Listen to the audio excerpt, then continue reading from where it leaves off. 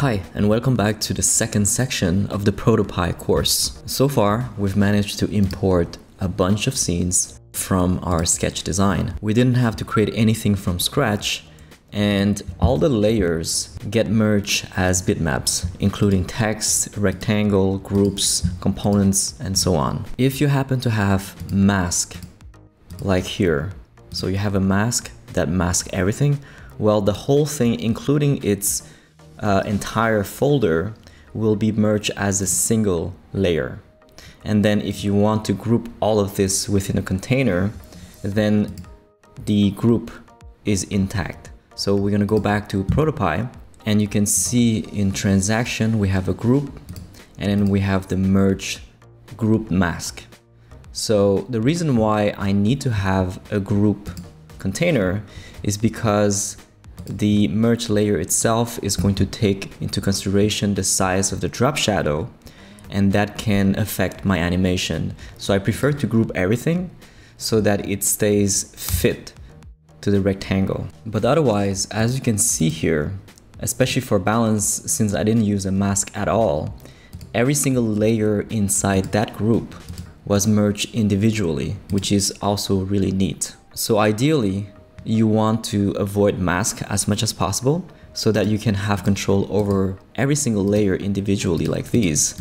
But otherwise, if you don't have a choice, then make sure to group everything inside a container and the whole thing is going to be merged into a single bitmap. So that's the part that I wanted to mention. I think this is really important when you organize your layers in Sketch or Figma or XD. It's very important to prepare everything properly so that the animation process is going to be smooth. All right, so with that out of the way, we can start doing a quick prototype, meaning that all we need to do is to connect all of the screens together using a trigger that jumps to each scene and that can come back giving us a full navigation of our app. Now the question is, what is a trigger? Well, a trigger is any event, including a tap, a double tap, like a touchdown, long press, drag. So these are the most popular ones. But also if you're prototyping for web, then you have the mouse interactions uh, or the keyboard. And then if you're prototyping for your device specifically, then you have access to the sensors. So let's say I want to make this card jump to another screen called cards. I'm going to click this, so that's very important. Uh, and then add trigger and then tap. Now when I do that, it's gonna know that this is what I want to click on and so I don't have to set the layers right here afterwards. So it knows that card 1 being tapped is going to lead to something as a response. So now I'm gonna click here and this is where I can start animating. But we're gonna explore animation in the next session. For now, we're gonna look at jump so that we can go to another screen. So that's what a quick prototype is gonna do. And then we're gonna click jump. And for jump, you can select which scene that you wanna go to. In this case, we wanna go to cards. And then we can select one of the transitions available to us, including fade, pop, slide in, slide out, and flip. So let's test those transitions. None is just instant. Fade, um, I click here and it's gonna do a fade animation. I can refresh from the preview so that I go back to where I start and I can test like pop for example. So it does this. Slide in. And then flip. Voila. But the most popular ones are definitely none or fade. And then if you're using a iOS sort of slide uh, interaction that use a navigation then you might want to use slide in which lets you customize the direction of the slide. So you can decide uh, if it comes from the right, the bottom, or the top. For now, we're just gonna use a fade. And then when I click here, it's gonna go to the cards. So I'm gonna switch to cards. And from here, I can decide how to go back to the previous screen. And I can decide to use the done text, add a trigger, use a tap, and then set a jump. Now the jump allows you also to go to a previous shown screen. So when I go back to the home I click here and I click done, it just comes back to the previous screen and it's really useful as a back button. The next thing I want to show you, which is really, really important, is how to set up scrolling in your prototype.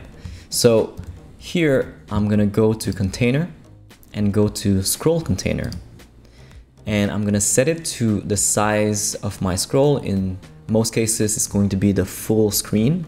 So you can go to the inspector and actually you can use math the same way that you can do it in Figma or Sketch. Set it to 100% and it's gonna set to 100% of the canvas and the same for the height as well. So 100% and now it's just gonna take the full width and height. And after that, I just need to drag and drop every single layer into my container, just like that. Obviously, I want to put this below these bars. And now I can start scrolling. You might want to name your layers so that when you animate, it's going to be very easy to uh, pinpoint which layer is being animated. Uh, secondly, your scrolling has a bunch of properties inside the inspector, including the paging, the direction. So if you want to scroll left and right, you can just change the direction. You can change the bouncing effect or the default scroll position. So I can start at 100 by default, but I'm going to set it to zero. The other thing I want to mention is that when you scroll, you see that we don't really have space at the bottom. So what you can do here is to go to transaction and then you can set a bigger size for the height. And since this is a group, it's not going to resize the elements inside. So I can just set to 470 for example. And now when I scroll, it's gonna give me some space at the bottom. Since ProtoPie 4, we now have components. So if you have a navigation or any element in your UI that's reused multiple times, then you can just go to that specific UI. So like, let's say this one, I'm going to convert this to a component. And once it's a component, I can override each of these layers and then I can go to the other screens that we're using it. So now I can replace this one by the newly created component like this and I can just delete the old one like so. This component can be edited right here or from the components panel by going right here. Now as I mentioned before, everything was merged as bitmaps, but I can also replace these by, let's say, a text layer, which means that I can apply overrides using my component. So I can create a text and kind of recreate this from scratch. So your email, and then I can use the same font. It's going to be SF, compact, or pro rounded. You can use the color. And we're gonna set the size of the font. And then the weight to medium. And now we have a pretty good representation. And I can just align this properly. And delete the bitmap part and now I have a text layer which means that I can override this outside so I can go back to login and now since this is a text I can change to your username, for example. And this is an override, which means that it does not affect the original component. And when I reuse it, I can change to something else. Now, components in ProtoPie are even useful for animations. So I can go to the component and then set my animation inside the component, which can then be reused. So for example, if it's a click animation, then it's going to appear everywhere that that component is being used. We're going to explore a lot of those things later on in this course. For now, let's just complete our prototype. So I'm gonna go to home, I'm gonna set a bunch of tabs. So for example, this avatar here is going to go to jump to the menu. And then from the menu, I want to go back. So tap jump, previous screen. The other thing is if your hit area is too small, especially if you're using the size of a layer, you might want to set a bigger hit area. So for example, right here, I can set to be 20 more. So it's easier for the user to tap this arrow. Also, let's go to the dashboard. The dashboard, when I click here, it's gonna go to my payment.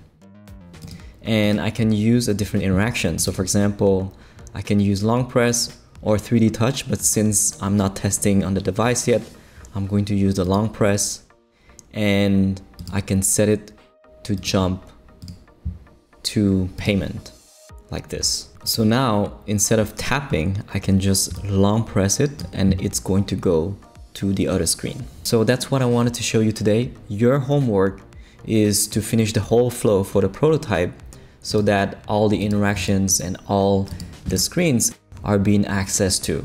As with every section of this course, you're going to be able to compare your prototype against mine. In the next session, we're going to learn about micro interactions and animations, and I think it's going to really elevate your prototype from something that is very boring to something that is way more animated, that has a lot more life and very representative of a real app. So I'll see you in the next session.